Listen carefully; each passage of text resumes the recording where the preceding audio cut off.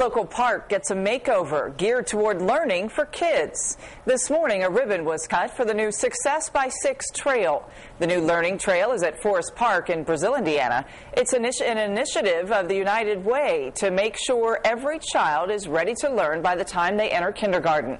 It has activities that helps help kids learn math, shapes, and identify things in the environment. And hopefully these activities will also give parents some ideas of things that they can do at home, maybe when they're away from the park, to help their children learn.